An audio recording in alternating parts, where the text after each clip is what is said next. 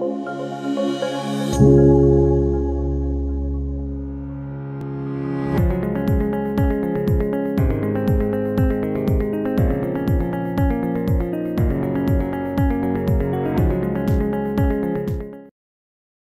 to 10 Minute University.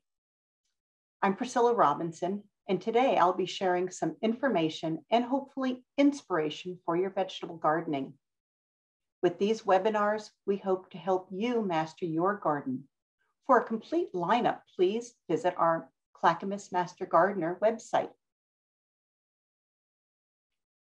Today's class is a 10-minute university presentation from the Clackamas County Master Gardeners in collaboration with and in support of the OSU Extension Service Master Gardener Program.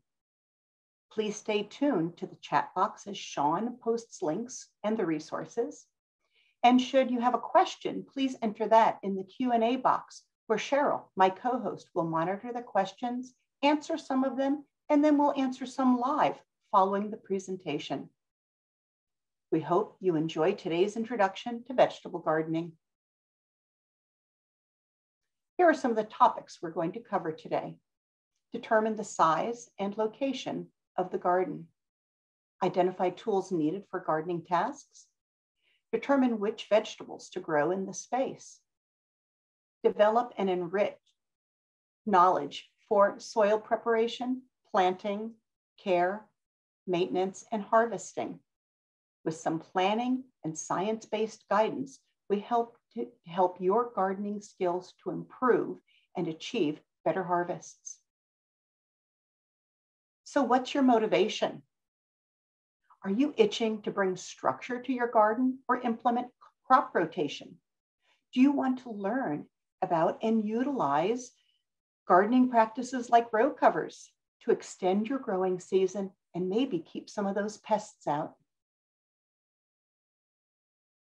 Is your vision a vegetable garden that is tranquil, a place to share with your family? Are you eager for a hands-on opportunity to pass on knowledge to, of gardening to the next generation? What are you thinking about? Are you looking for new varieties of delicious fresh veggies for your family? Get the most out of your growing space? Are you willing to lend a hand and contribute some of your produce to your local food bank. These are all good reasons to hone your skills and gardening practice with a webinar like this. Whether this is going to be your first vegetable garden or you're looking to improve on last year's harvest, motivation is what will sustain you and your garden this year. My hope is to help you be successful, whatever your vegetable gardening experience is. So here's step one, determine the location and size of your garden. Vegetables need six to eight hours of sunlight. During this time, they are absorbing energy from the sun, CO2 from the air, water and nutrients from the soil, not enough sunlight will weaken your crops no matter how much care you give them. To find the best location, observe the movements of the sun and shadows in your yard. Identify where the vegetables will get the most sun. The amount of sunny space in your yard will be a limiting factor for your garden. The other limiting factor is time to, that you have to work in that garden each week. If your goal is to supplement your trips to the market, you may want to increase your current garden space. But keep in mind, you can raise those vegetables anywhere in the ground, raised beds, or even some containers. For each 100 square feet of garden, plan to spend four to six hours in the garden working. That includes 40 minutes of planting and cultivation and just checking out the, the garden and 30 minutes per watering session. So you might want to start small. A 10 by 10 foot plot is perfect for beginners. It's estimated that a 30 by 30 foot plot will yield fresh veggies for a family of four. Containers are an option and they're ideal on your deck, patio, or tight spaces. A well-tended small garden produces more than a large neglected garden. An east-west layout is ideal. Be mindful of shadows being cast by trees, fences, and buildings, but that's the way to go. Then place your tallest plants on the north side of the garden bed to give all the plants an opportunity to soak up that precious energy from the sun. Sometimes the orientation of the bed will be dictated by the space you have to grow in it. In the picture on the left, my daughter and son-in-law designed and built planters behind the garage where they had a nice 10 by 20 foot piece of unused property. The north-south orientation worked out well enough to give over six hours of sunlight and the elevated planters overcame the shadows cast by fences and buildings. The cage structure keeps out the neighborhood cats and sometimes the squirrels. In the picture on the right, my community garden is laid out in a nice east-west orientation. The taller plants on trellises or in cages are set on the north side to allow for maximum sunlight exposure on the south side. Step two, identify tools needed for gardening tasks. I love gardening tools. And when I moved to a condo a few years ago, it meant moving my vegetable garden into a community garden plot. My tools changed, but my love of gardening didn't. My new garden was a raised five by 10 uh, garden. My first years, I used simple hand tools and a watering can. And as my skills and goals grew, so did my collection of gardening tools. The following year, I put in a soaker hose with a timer to ensure I had consistent watering. And that became a time saver. So, you know what I did with my extra time? I rented another garden bed. there's no doubt that there's always another tool that you will do a better job or make the task a little easier. But don't let that be a limiting factor as you begin this journey. Start with the basics and build as your skills do. Keep your motivation and vision moving forward. For big jobs, I find eager helping hands and a game plan are the best tools to start with. Then I get busy. Some of these big tools are utilized at both the beginning and the end of the growing season to loosen and prep soil. The above photos show a lawn area being transformed into a raised bed. A raised bed is any garden bed that is raised six inches or more and is connected to the native soil.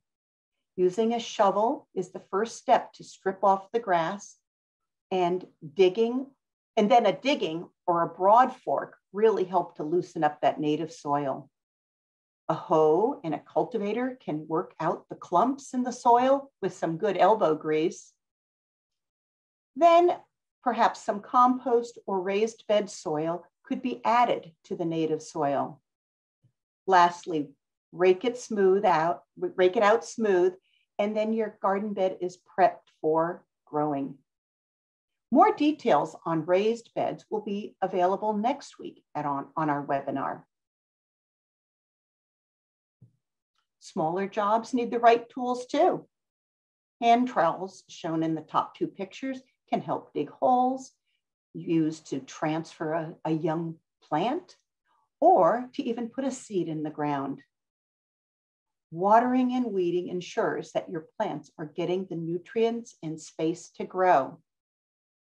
Whether it is watering with a hose or a timed irrigation system, the consistent deep root delivery of water is crucial.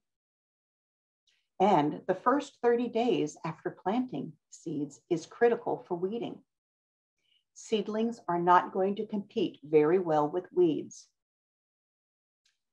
As far as weeding tools, I really like to use my Hori Hori to dig out those tough weeds. If weeding near tender seedlings, use tools with caution so you don't disturb the developing root system of that baby plant. Tools help to protect plants when harvesting. Harvesting is an exciting time in the garden. Use scissors to snip out greens instead of pinching them with your fingernails. Use a pruner to gently cut the stem of the squash from the plant. By using the proper tools, the tasks are easier for you and you protect the plant and the vegetables to come. My grandson Henry was super excited to use my sharp pruner to harvest a sunburst summer squash. That evening, he really appreciated that farm fresh flavor.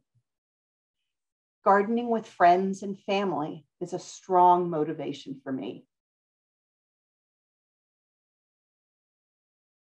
There's lots of gear to be had in the garden. Just take a look at the large photo on the top. Row covers, the white tunnels, are helpful for plants at various stages of development. The tunnels are formed by metal hoops driven into the soil and row cover or row fabric laid on top, and then small little document clips hold that fabric in place on the hoops. After planting, seeds or starts, row covers permit the slow penetration of spring rains and protection from wind and hail. A real positive is that it traps heat and moisture in the tunnel to speed germination and plant growth. The row cover fabric is available in different weights depending on your needs, and it's reusable from year to year with the proper care. I really um, utilize row covers a lot in my garden. The plastic mulch shown in the larger photo is installed just prior to planting. It is rolled out on the prepared garden and secured with earth stakes or staples. I use a scissor to cut an X in the mulch, fold it back, and that's where I plant my starts. Plastic mulch helps with water retention in the soil, trapping heat in the soil for soil loving plants, reduces weed growth, and keeps the squash off the dirt. A word to the wise with any of the row covers or plastic mulch, it is important to peek under them on a regular basis. They can be a hiding place for broken irrigation lines as well as pests or, or disease. Plants that grow vertically will need some type of support for their best production. Cages, trellises, fences, and poles are the most commonly used. Peas do well on a fence. And an A-frame tre uh, trellis, as seen above, enables vines to grow vertically, and it uses less space in the garden. It's always the best to put in the supports before planting seeds or just prior to planting starts. Wimpy tomato cages should be outlawed. A mature tomato plant can measure more than 36 inches across and 48 inches high, as seen in the photo on the right. Last summer, some of my beefsteak tomatoes were over two pounds each. Tomato cages should be big and sturdy to support the plants and the developing fruit. Poles should be driven, driven deep into the soil and secured at the top for strength. Tall enough for climbing plants, but not too tall. When erecting poles and fences, think about harvesting. If they're too tall, then you won't be able to reach the top bounty. But lucky for me, my son, pictured above, is six feet tall and is able to harvest tender green beans eight feet high, and that I can't reach. As you can see, there are lots of accessories that, you, that can help you in your garden, but just take it one step at a time. Step three, determine what vegetables to grow in your space. What are the best plants to grow? Is my most constant question that I get. And what I like, to, what I like is crisp green beans and warm cherry tomatoes right off the plant. They are the best plants for me to grow and a big motivator. The best vegetables to grow are the ones your family will eat. Now that's motivation. That being said, it's also an opportunity to try new vegetables or the fancy ones that you see at farmers markets. It's also a fine time to experience how different vegetables grow with your family.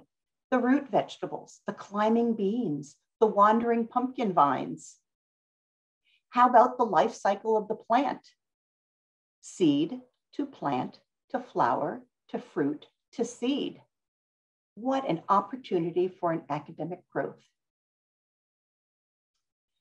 How much space do you have? Some plants can grow in a small space and even in shallow depth. Other plants will wander and want to sink their roots in deep or reach for the sky. Information on the back of seed packets and seed tags will help. If your garden space does not get six hours of sun, don't give up. That's an opportunity for leafy vegetables that may work well in that space, especially when it gets hot in the summer. Also, what makes good economic sense? Well, I like to grow the vegetables that are most expensive at the farmers markets and the ones that are best fresh off the plant. Quality, production space, and value were the guiding questions for a study done at Washington State University. They compared a variety of crops for these three attributes in an effort to help home gardeners get the most out of their gardens. This study may help you decide which crops make sense for taste, how much space you have, and the monetary return for your efforts. For example, the edamame highlighted in yellow scored high for quality, medium for space, and high for economic value. If that's a vegetable you would like to try, it might make sense to do that based on the data. On the other hand, potatoes, highlighted in pink, scored low for quality, medium for space, and low for economic value. When choosing vegetables to grow, this chart may be a helpful resource.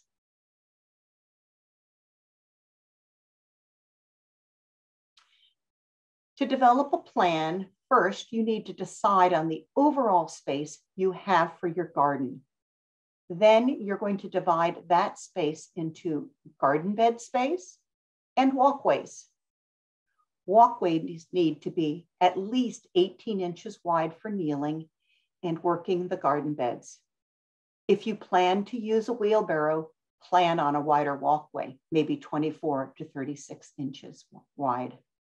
Also, your reach into the garden bed shouldn't really be more than about two or three feet from the edge of the walkway so that you can access your plants and take care of things.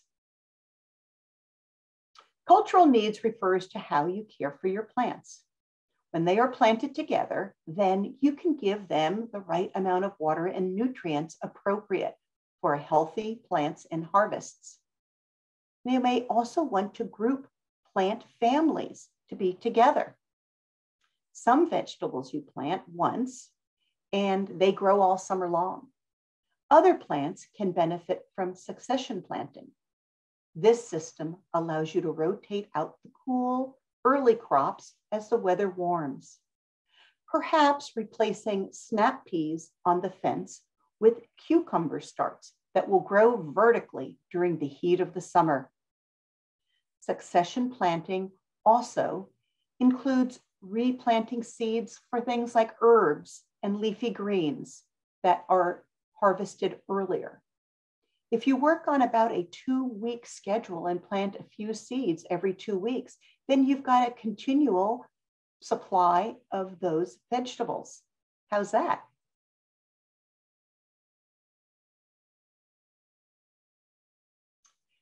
Crop rotation by family. The most common vegetables can be grouped in just nine plant families. A plant family is a grouping of plants that are similar. Take a look at this list. Some of these vegetables groupings may be familiar to you, others surprising. Here's where a garden journal really comes in handy, keeping track of your crops from year to year. I know I rely on my journal and not my memory.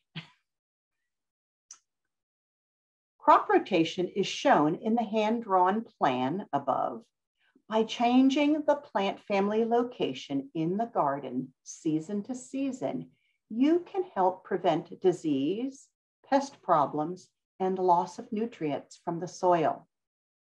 As you plan your garden, think about grouping your crops by family and rotating each family into a different space each year, kind of like a new house each year. A four-year rotation of crops is optimum. But if space doesn't allow for such a rotation, you have other options to keep things healthy. Growing cover crops in the off season, keeping your garden clear of diseased plant material, and choosing disease resistant plant varieties. Are you feeling overwhelmed? Well, then plant a pot of herbs. An herb garden is a great starting part place for a beginner, a chef, and an excellent money saver. They can grow easily in a container or be grown in the ground. Ounce for ounce, herbs are one of the most economically sound crops to grow. These were planted from starts purchased at a garden center. Having a pot of herbs can be really rewarding. It can create interest on your deck. They're often fragrant and provide culinary delight, both fresh and dried. Many herbs, such as thyme, rosemary, sage, and oregano, may winter over here in the Willamette Valley. Cilantro can self seed, dropping seeds that sprout a new generation of herbs. So, seeds versus starts, which to grow? Well, the simple answer is, and the reality is, you'll probably grow both. An important detail when you are choosing your seeds or starts is to look for the days to harvest you'll want to find varieties that have a shorter number of days due to our climate and growing season. Check the planting charts and seed packets for recommended growing methods. Some plants just do better and grow more vigorously when seeds are planted directly into the soil. Some plants do better as a start. A start is a young plant that is typically started indoors or in a commercial greenhouse. It is well developed with many true leaves and is showing good potential, but not root bound. Starting starts can be purchased from the garden center or you can plant your seeds at home indoors. There are many advantages to using starts. Starts are less susceptible to pests because they are bigger. And with proper care, bigger plants become established faster. Starts ensure that long season crops get an adequate head start for that number of growing days it needs in order to develop vegetables.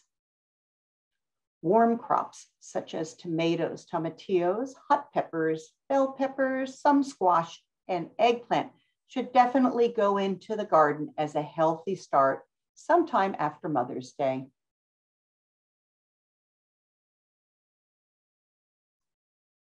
You know, seed packets and plant labels are a good source of information, but they're kind of generic. So I use three charts to guide and help me plan my vegetable garden throughout the year. The first one I got as an intern during my master gardening training. It is geared toward the Willamette Valley. The chart guides you month by month what can be planted outdoors, started indoors, and grown over the winter. I find starting seeds is fun and it makes spring arrive that much faster. Another motivating factor. The second chart is a really good one for the Willamette Valley too. And I like the additional information it offers, like that plant footprint and to estimate how much space I'm going to need for that plant. It also talks about the planting method, rows versus hill. Did you know that a hill means planting seeds in a grouping and not on a mound? And the last column helps to better understand which crops are best for succession and which are planted just once for a growing season.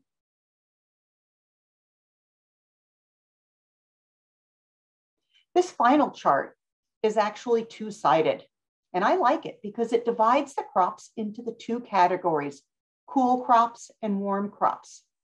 It includes lots of data on soil and air temperature that are necessary for germination of different seeds. So you can see each of the charts provides different kinds of information and it helps in my planning process. Those of you outside of the Willamette Valley, this chart also includes additional regions in Oregon.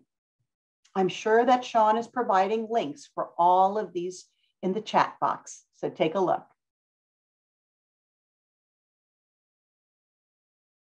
Here in Oregon, planting seeds directly outdoors can start as early as February, but it is the soil temperature that is the determining factor that triggers seeds to germinate and grow. If you plant them too early, they'll just sit in the soil and rot.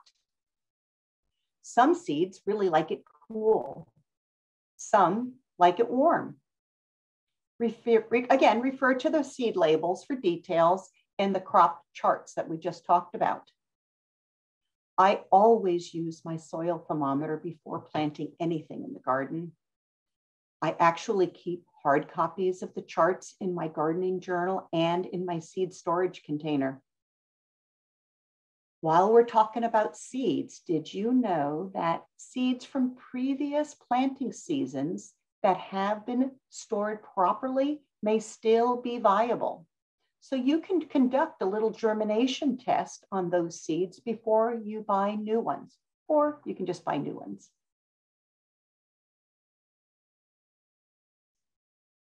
Cool season vegetables are also sometimes called early season crops.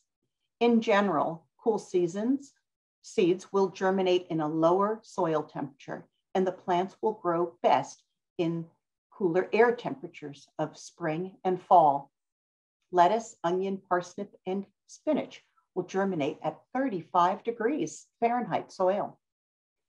Other uh, vegetables will germinate at 40 degrees Fahrenheit. And these are some of the crops that are considered cool season crops. Warm season crops need warmer soil and air temperatures to germinate and thrive warm crops want a minimum soil temperature in the 50s or 60s and the air temperatures in the 80s and 90s. So that's well past 4th of July here in the Willamette Valley. If you don't have a garden and you plan to use containers, go for it. When you're looking for seeds or starts, look for the label patio varieties they are often determinate tomato plants that will grow to a certain size, set flowers, set fruit, and not get as big as the ones as I put in the ground. So you really want to consider the mature size of the plant that you put into your container, the sun needs, your personal preference. And if this is going to sit on your deck, why not take advantage of brightly colored foliage? like the Swiss chard in these pictures, or those bright red peppers in that planter. Add some flowers for interest. Pollinators will love it. Okay, step four, develop enrich knowledge for your soil, planting, care, and maintenance and harvesting. Be before we prepare the soil, let's look at the components that are in soil. Soil is a combination of 25% air, 25% water, 5% organic matter, and 45% minerals and rock particles. A loamy soil is ideal and would have about 15% sand, silt, and clay. Many of our homes in the Willamette Valley have soil with a lot of clay. Are you feeling? I can feel your pain. if your soil is very hard and cracked in the mm. summer and soggy and mushy in the winter, there is a good chance you have a high percentage of clay. Your yard may be a good candidate for a raised garden bed where you can bring in loamy topsoil to provide a good growing environment for your vegetables. You can also explore what's in your soil. This can be really an interesting discovery process, whether you're a new gardener or an experienced gardener. You simply collect some soil from various locations in your garden, place them in a jar with a lid, cover them with water, give it a really, really good shake, add some dish soap, give it another shake, and then just allow it to sit undisturbed for about 45, 48 hours and observe how it stratifies. In this, you can expect the sand layer to form on the bottom, topped by silt, and then topped again by clay. Organic material will be at the very top, might even be floating.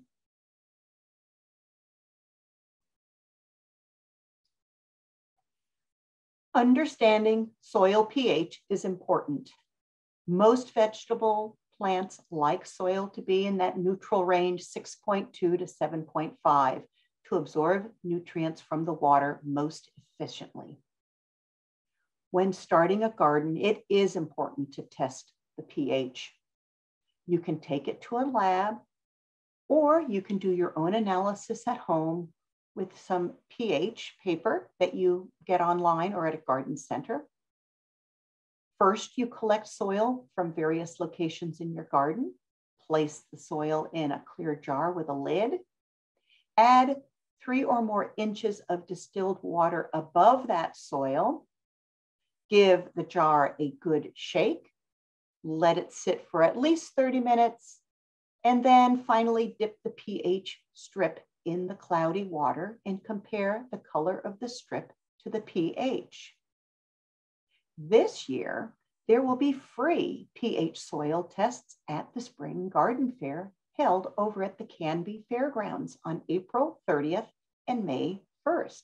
So when you go to the fair, bring your little baggie of soil and stop off to see the master gardeners and we can test the pH of your soil. It's highly recommended for gardeners of, gardeners of all experience levels to discover the pH of their soil on a regular basis to maximize growing potential.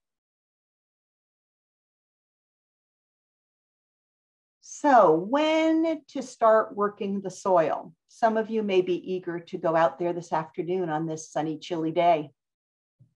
On the right is healthy loamy garden soil. It's loose and crumbles.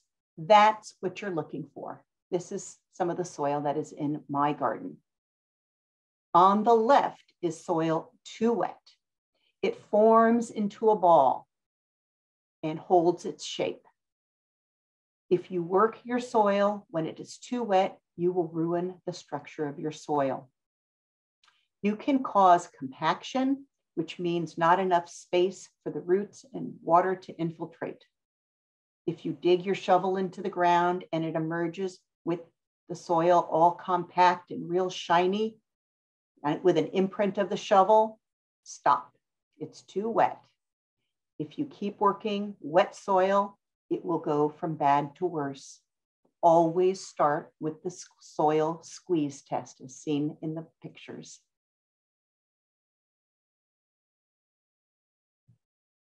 If you're going to be growing in containers and garden beds, then you definitely will want to get a good quality growing medium. For containers and new raised beds, mix in a new highly quality potting soil to maximize plant growth, flowering, and vegetable production. These potting mixes have organic matter, minerals, and some pumice for good drainage. This provides an ideal growing medium to anchor the roots and nourish your plants. And it's important to fully hydrate that potting mix before putting it in the container. So what's that look like? Well, I just put the hose right in the bag of soil and I just keep adding water and mixing it, adding water until it is totally saturated. Once it's totally saturated, then I can put it into the garden bed.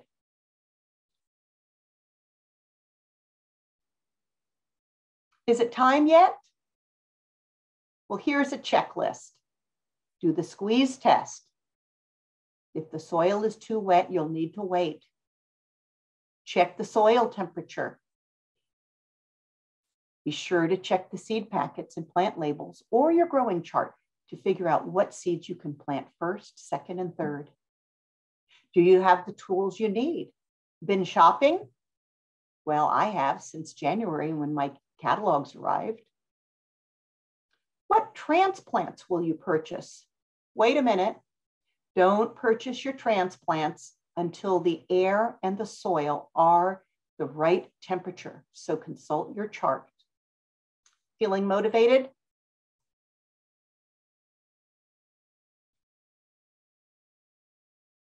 Plant spacing in the garden is really important what will be the mature size of each plant?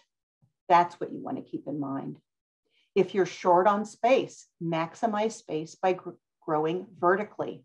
Peas, beans, cucumber, squash are all good candidates to grow on a fence or on a trellis. Tiny seeds can be very challenging. Using or making your own seed tape can make a difference in your garden. My granddaughter Katie made her own seed tape, and then planted it. Whether planting starts or seeds, for the, uh, the depth, it's, it's important to keep in mind to, to plant them at the proper depth. Sorry. and what does that mean?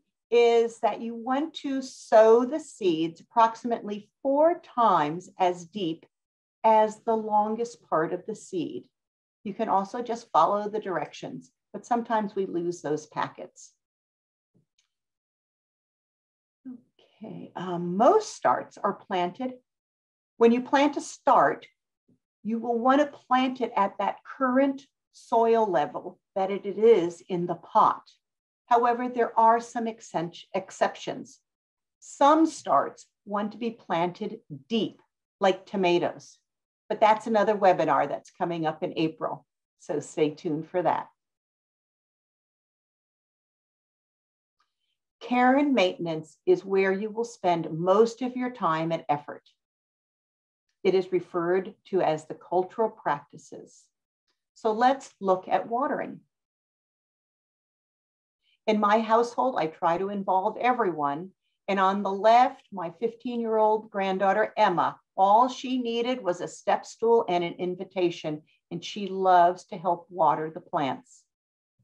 On the right, my sister Deb was housebound and very ill, yet she thrived with the opportunity to plant and care for her containers of vegetables and flowers. Don't ever underestimate the simple joys that the young and the old get from their gardening chores.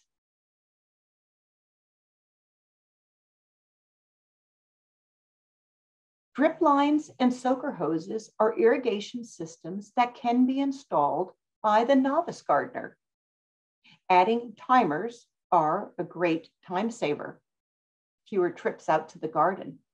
However, it's you always need to pay attention to the weather and to supplement with extra water during hot spells or even turn it off for a few days when the weather is wet. Water delivered early in the day minimizes evaporation and has increased water absorption by the plant. Watering deep gets the water down to the roots. That's where it has to be so that the plant can utilize it. The goal is to have an evenly moist root zone. To check this, you can dig down six to eight inches after watering to check the soil moisture level. Increase or decrease your watering as necessary you know, different soils will absorb at different rates. So you'll need to get to know your garden bed soil.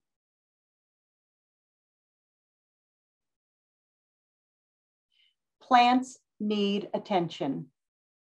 Tasks that keep your garden healthy and, produ and producing include trimming off dead or dying leaves, clipping off bolting blooms on leafy greens, thinning plants, and the removal of cool crops as the season progresses.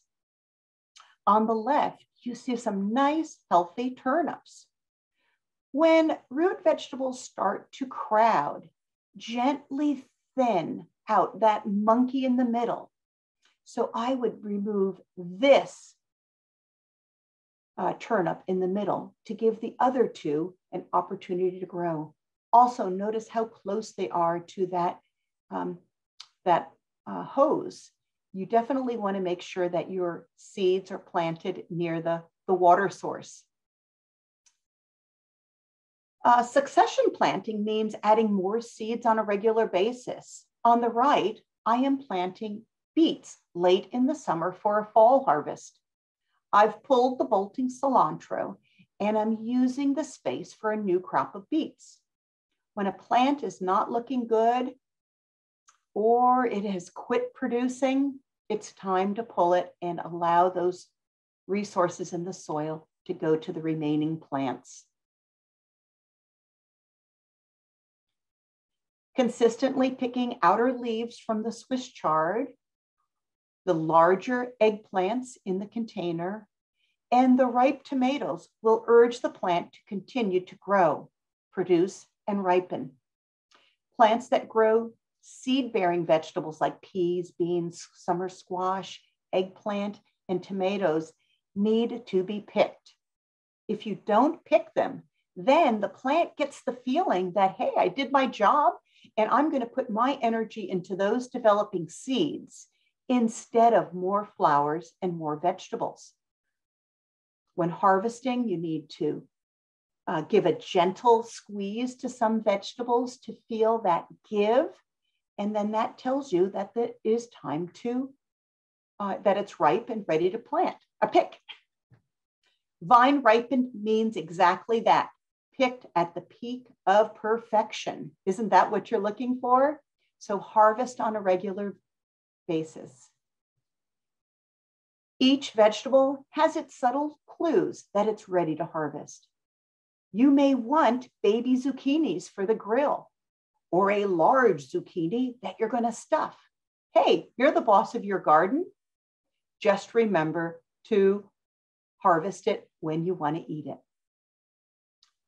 Lastly, I can't stress enough using the correct tools to harvest will also preserve the health and the plant for future harvests. Pests come in all shapes and sizes. Looking for clues is the first step to integrated pest management. And please always identify and monitor problems before acting and consider the least toxic approach first. When using chemicals for insects or disease control, follow recommendations on the labels and store those chemicals safely out of the reach of children and your pets. In many cases, in a vegetable garden, it's not a pest. but the cultural practices or what you're doing in your garden.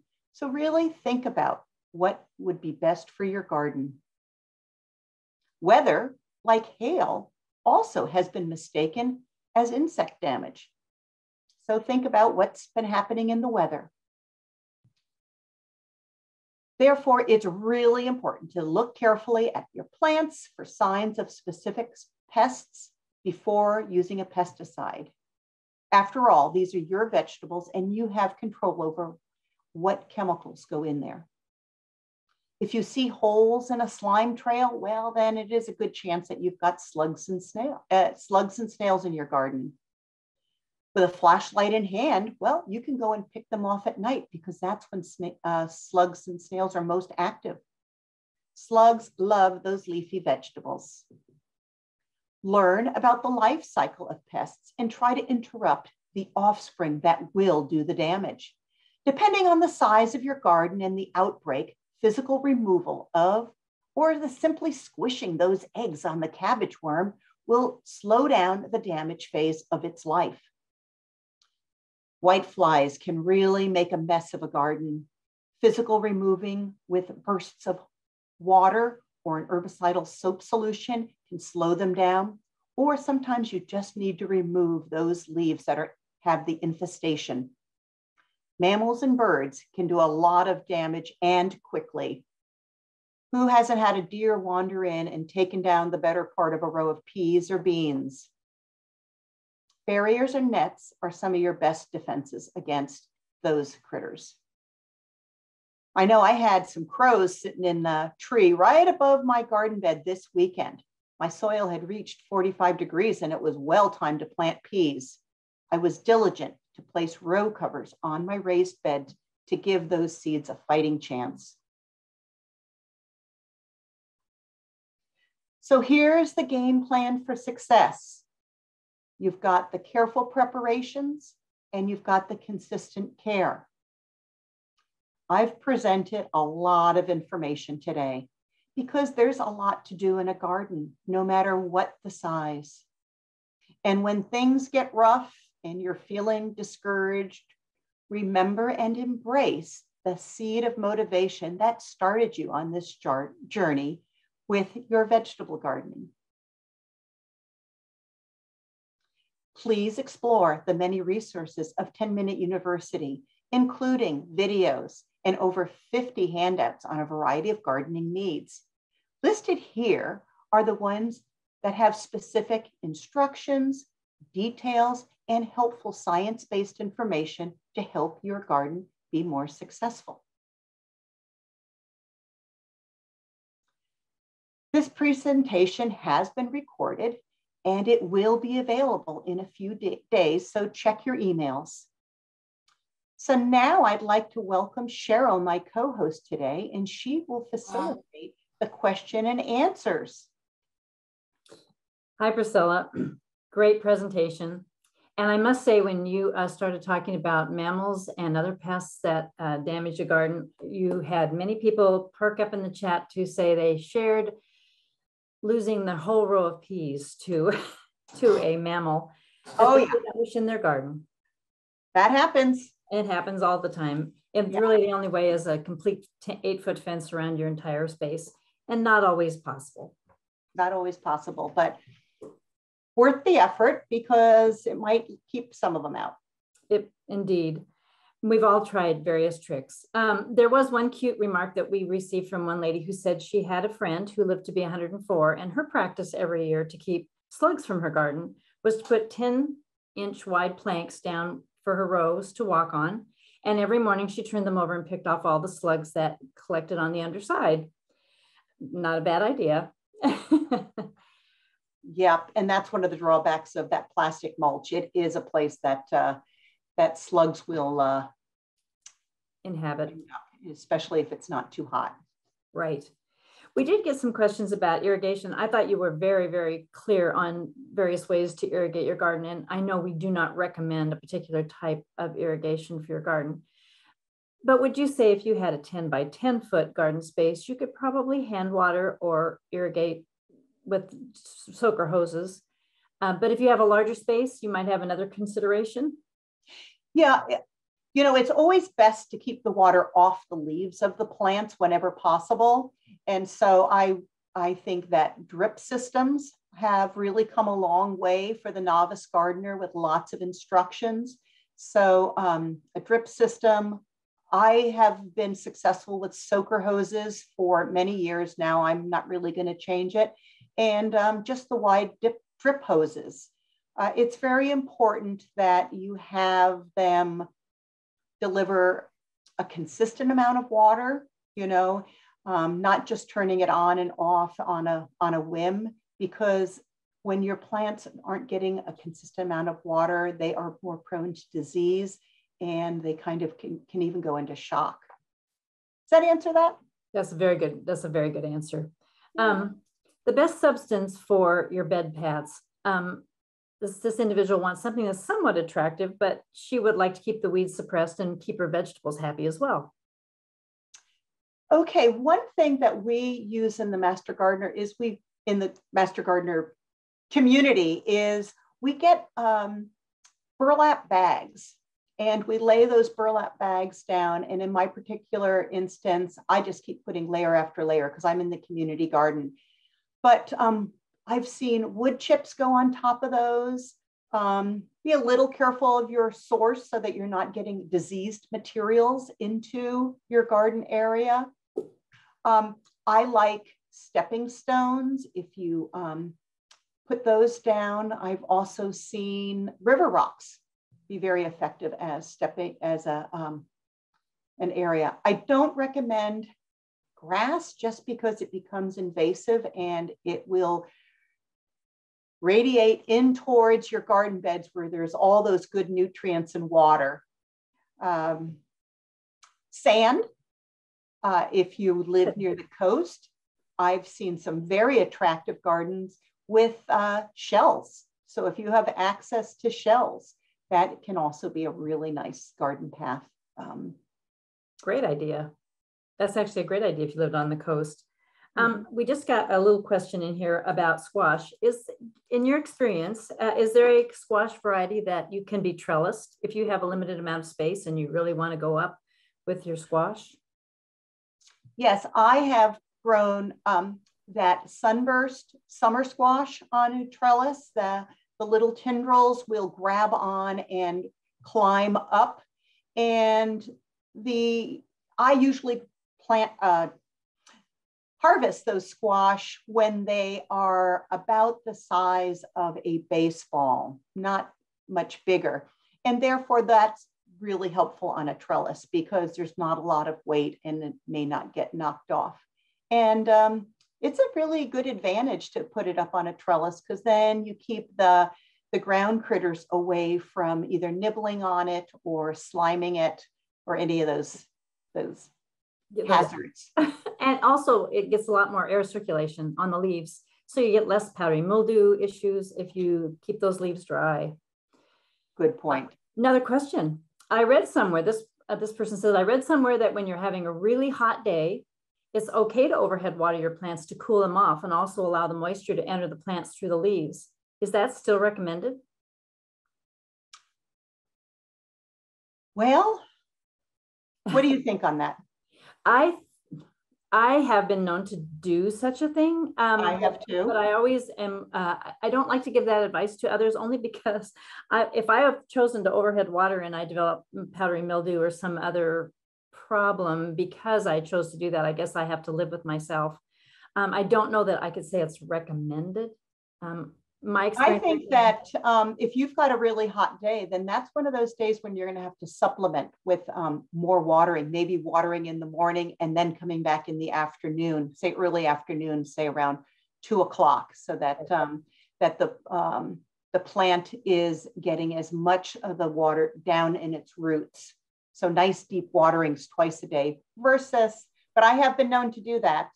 I'm not sure if there's any, I don't think there's any science to support that. I would agree. I've not spread any science to support it. And if you keep the soil, uh, the root zone hydrated, the leaves will, they may get kind of crisp on the edges, but they will survive it. So, yeah. Um, I also will put down a nice layer of mulch on my um, warm crops.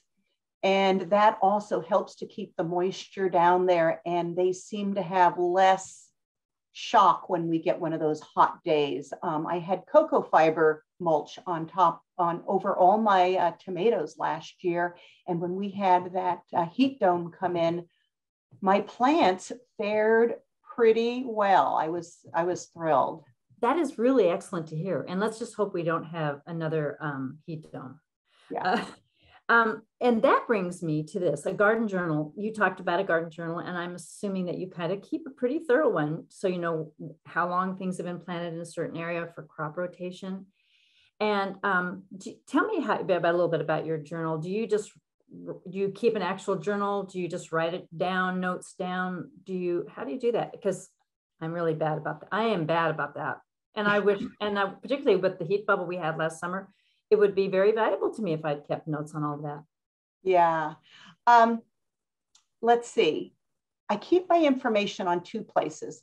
I, I have an old fashioned calendar that is on my refrigerator. So when I do something, I will jot that down quickly and then transfer that information into my journal. If I happen to have my journal at the garden, then I actually take it a time for some real personal time to, to make observations. So keeping your journal in a spot where you can access it on a regular basis and at your garden is going to be really helpful. Some people I know keep it in their greenhouse. So then they grab it out of their greenhouse, go out to the garden. Um, so mine is very chronological. So it's, you know, it's almost like keeping a, a diary. Um, that's how I have my information in there. And then um, I will also put um, articles that I find interesting a lot. The Oregonian has some really fun gardening articles on Saturday mornings. So I will cut out those articles and glue them in my journal. And then I have access to those because if I just stick them in a pile, I, I, can never find them. If they're not all in one place, you won't ever. Find them yeah. And and my journal isn't fancy. It's just a, uh, a three ring binder that I bought from uh, the the store, and uh, I I do put it into a zip bag, so it's gets some protection from dirt and water. It's still a little bit messy, but it's okay. It's good enough. It's right. Well, if you can read it and I mean refer to it, I think that's great. And definitely water is an issue. I mean, if I took it out in the garden, totally be a problem. It definitely my garden layout um, for each of my garden beds is um, roughly sketched out, kind of like the one that you saw in the uh, the presentation, just hand drawn and uh, labeling what plants were in there, the variety, uh, because sometimes there's a variety that doesn't do well. Well, chances are I might buy it again unless I look back in my journal and then I remember, ah, that didn't work out. Right. Well, you've really done a good job of, and I think a garden journal is a valuable resource for all of us. And you know what? We're just about out of time and you've answered all the questions. Great job. Look forward to the next one. Yeah, we're, we're enjoying these noontime chats. We uh, thank you for uh, registering. Uh, as I said, it will be record. It has been recorded and you will have access to it at a, um, hopefully an email will be coming your way in case you want to get back to some of those charts or pictures or listen to some of the details. Thanks everyone. And thank you, Cheryl. Bye. Thanks, Priscilla. Bye.